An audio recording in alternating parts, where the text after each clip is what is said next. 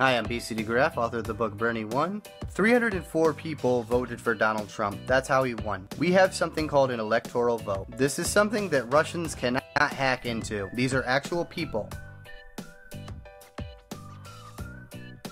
People such as David Mulinix, who did not vote for Hillary Clinton, he voted for Bernie Sanders, despite his state going to Hillary Clinton. This is karma. Hillary Clinton did the same thing using 570 people who are called unpledged superdelegates. These unpledged superdelegates are people who can vote for whoever they want to. They don't have to use the state to pick who they want. They can vote for the other candidate, and that's what they did.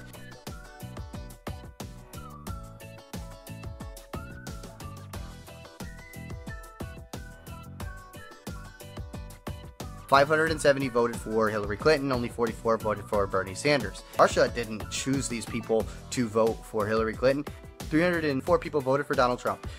Those 304 people did not have contact with any Russian agencies. They did not have any contact with these Russian ads, so to say, that we know of. David Mulinix did not vote for Hillary Clinton because he did not want Hillary Clinton to be his president.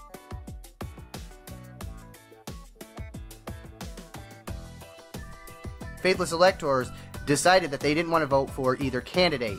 This was one of the most highest faithless electorals that we've had in history since William Taft. 14 million people have left the Democratic Party since this last election. So the Democratic Party is not growing, it's dying on the vine. So basically the old guard corporate Democrats are on the Titanic right now, moving the deck chairs around as the ship's going down. And, and, and, they are preventing the people who could say, hey, we've got lifeboats right here, or we can patch the hole, you know? So all of the, the millennials across the country who watched as the DNC stole the primary and gave it to Hillary Clinton, they watched it go down. They saw how illegal it was. People did not like the candidates that we had.